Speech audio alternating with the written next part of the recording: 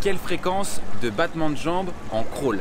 Y a-t-il une bonne fréquence de battement par rapport à tes cycles de bras? Faut-il faire comme Lormanodou ou Sun Yang avec deux battements de jambes à chaque cycle de bras? Ou au contraire, est-il plus profitable de faire 6 euh, ou 8 battements de jambes à chaque cycle de bras comme Yann Thor? Enfin, c'est une question qui revient très souvent chez les nageurs 2.0. Comment coordonner ces battements de jambes par rapport euh, à ces cycles de bras D'un côté, il y a la théorie et de l'autre, il y a la pratique. Si tu veux faire partie des nageurs 2.0, abonne-toi en cliquant la chaîne juste en dessous. Tu es sûr de ne rien rater et c'est totalement gratuit. T'es prêt? C'est parti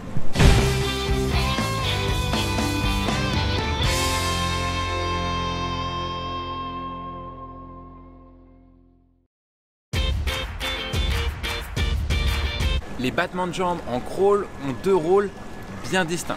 Premièrement, ils peuvent avoir le rôle d'un moteur secondaire. Parce qu'on l'a vu dans les vidéos précédentes, en crawl, ce sont bien entendu principalement tes bras qui te propulsent. Et dans un deuxième temps, éventuellement, tes jambes peuvent permettre de compléter cette propulsion. Le second rôle, c'est d'équilibrer ta nage. Car bien entendu, lorsque tu es dans l'eau, tu es dans un équilibre constant. Et en même temps, c'est un équilibre qui est parfois précaire car à chaque cycle de bras, il va y avoir un roulis au niveau de tes épaules, au niveau éventuellement de ton bassin.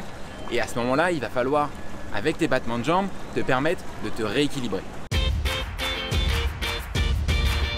Préserver l'équilibre en crawl, euh, théoriquement, c'est assez simple. C'est exactement l'opposé de la course à pied. On va conserver ce principe où lorsque ta jambe avance, eh bien c'est le bras opposé qui va permettre d'équilibrer. Et de la même manière en crawl, c'est ce qui est écrit dans la plupart des livres spécialisés.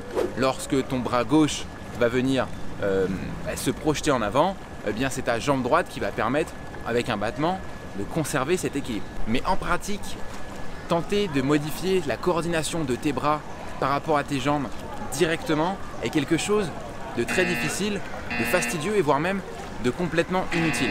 Parce que en te concentrant directement sur la coordination de tes jambes, en essayant de faire un effort à ce niveau-là, tu ne vas pas obtenir des résultats très rapides. Tu vas obtenir même des résultats assez difficilement, alors que en te focalisant plutôt sur l'intention, en te concentrant sur la propulsion de tes bras et en cherchant à t'équilibrer davantage, eh bien tu obtiendras des résultats qui seront euh, bien meilleurs. Même si en théorie et dans les livres, il est écrit qu'il faut avoir une bonne coordination, une bonne opposition entre tes mouvements de bras et tes mouvements de jambes.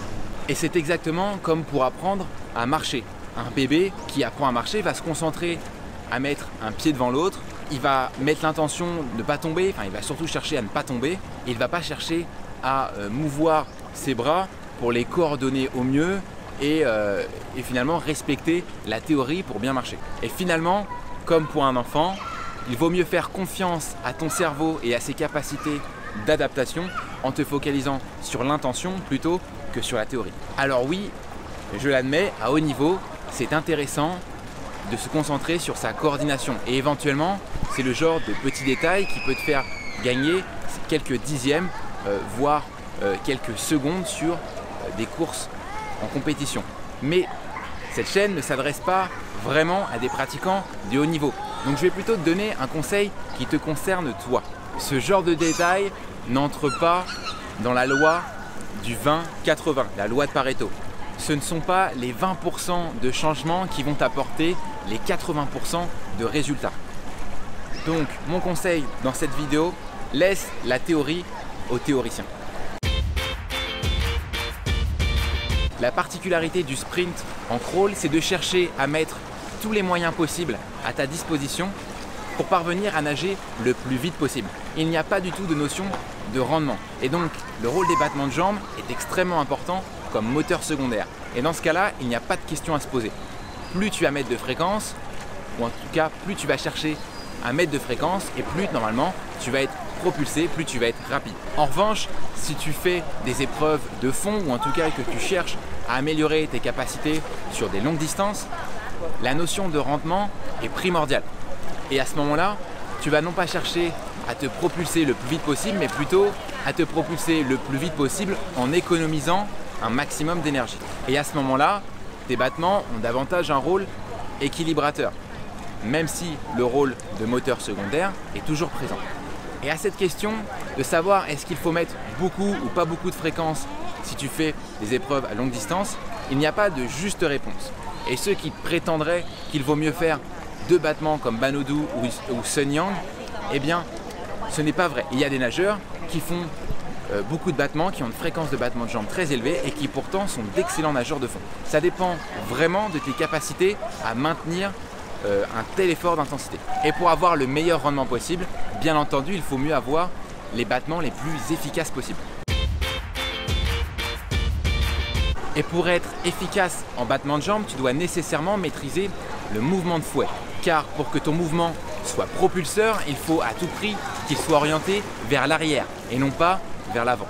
Or, si tu as les jambes, ou les chevilles plutôt, qui sont raides, eh bien, pour orienter ton mouvement vers l'arrière, tu vas nécessairement devoir davantage plier les genoux, ce qui va entraîner des résistances et qui va donc t'empêcher d'avancer aussi efficacement que tu l'aimerais. Et finalement, même en augmentant la fréquence, non seulement tu ne vas pas avancer plus vite, mais pour les cas les plus difficiles, eh bien tu vas même faire du surplace, voire reculer. Et si toi aussi tes battements de jambes aujourd'hui sont ton point faible, voici ce que nous a partagé gentiment Céline il y a quelques jours. Elle ne s'attendait pas à avoir des résultats aussi rapides après avoir pratiqué les séances de battement express. Et si ça t'intéresse, tu peux le rejoindre en cliquant dans la description juste ici. Tu pourras aussi nous partager ton avis dans les commentaires. J'espère que cette vidéo t'a plu. Si c'est le cas, t'appuies sur le pouce bleu et tu nous laisses un like en dessous de la vidéo. Et dis-nous en commentaire s'il t'est déjà arrivé de lire euh, dans la littérature de la natation euh, tout ce qui est à propos de la coordination des jambes, de garder l'opposition par rapport euh, aux bras et aux battements de jambes.